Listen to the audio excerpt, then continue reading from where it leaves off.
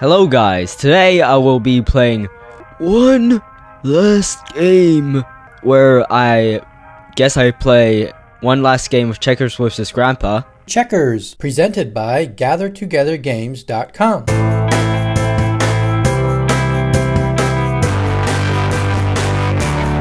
Two seconds later.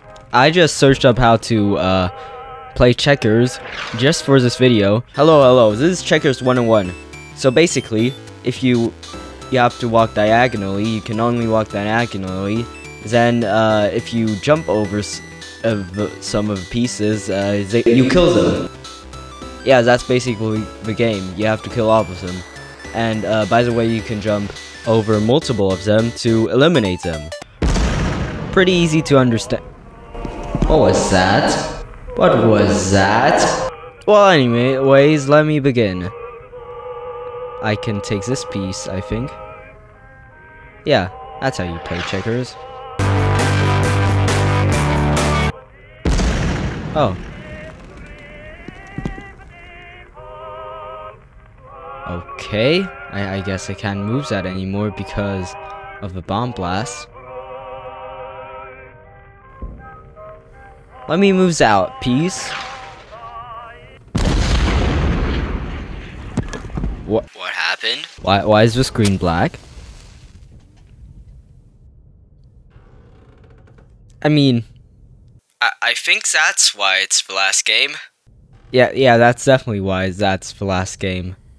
This is a weird first game of checkers, I got to say.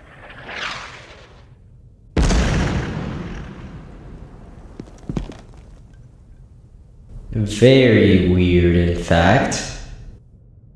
I think I can take him out. Yes, I, I definitely can. Then I can take that one out. Can I move twice now? No? Okay. Um, I guess I move there. Oh, and then I die. Who's knocking on the door?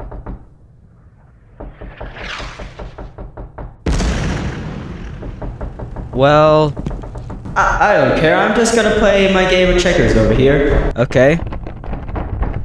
Okay. And now I become king and all moving.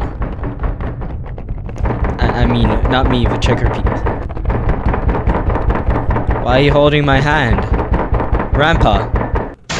No, we're not gonna die, are we? No. Uh, what? Oh, the game's over. Well, that wasn't abrupt end.